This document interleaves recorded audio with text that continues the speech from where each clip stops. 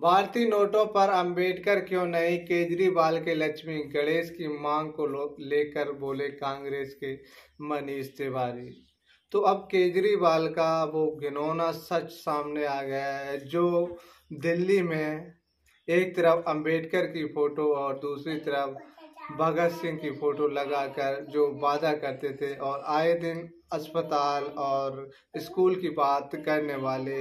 लेकिन उनकी जबान पर नोटों के ऊपर लक्ष्मी और गणेश की फ़ोटो लगाने के पीछे क्या कारण है? आप लोग बने रहे हमारे साथ। तो नमस्कार दोस्तों, मैं धीरज भास्कर और आप देख रहे हैं डीबी स्टडी यूट्यूब चैनल। जब से दिल्ली के सीएम अरविंद केजरीवाल ने भारतीय करेंसी नोटों पर भगवान गणेश और लक्ष्मी का फ़ोटो प्रकाशित करने की मांग की है। देश में बहस छिड़ गई है। अब कांग्रेस के वरिष्ठ नेता मनीष तिवारी ने इस डिबेट को नया मोड़ दे दिया। उन्होंने आज सुबह केजरीवाल को टैग करते हुए कहा कि नोटों की नई सीरीज़ पर डॉक्टर बाबा साहेब अंबेडकर का फ़ोटो क्यों ना हो? उन्होंने कहा कि एक तरफ़ महान महात्मा और दूसरी तरफ़ डॉक्टर अंबेडकर एक दिन पहले केजरीवाल की लक्ष्मी गणेश वाली मांग के बाद आम आदमी पार्टी, भाजपा कांग्रेस के बीच जुबानी जंग शुरू हो गई। भाजपा ने ऐसे आगामी चुनावों से पहले अपने आम आदमी पार्टी के भयावह हिंदू विरोधी चेहरे को छिपाने की नाकाम कोशिश करार दिया। तो कांग्रेस ने संविधान के धर्मनिरपेक्ष सिद्धांतों के कथित उल्लंघन को लेकर मुख्यमंत्री के इस्तीफे की मांग कर डाली।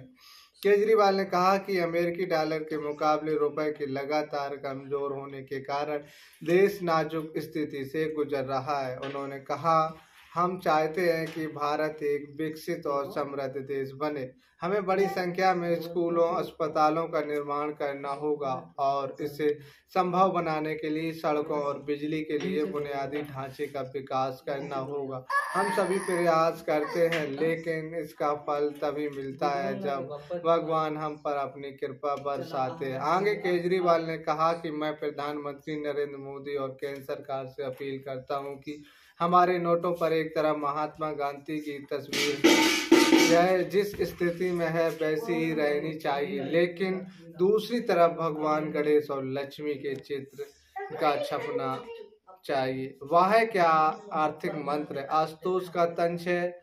आपके पूर्व नेता आशुतोष ने केजरीवाल का मज़ाक उड़ाया। उन्होंने कहा कि नर, प्रधानमंत्री नरेंद्र मोदी को आम आदमी पार्टी प्रमुख की सलाह का पालन करना चाहिए और तुरंत सभी आर्थिक सलाहकारों को बर्खास्त कर देना चाहिए।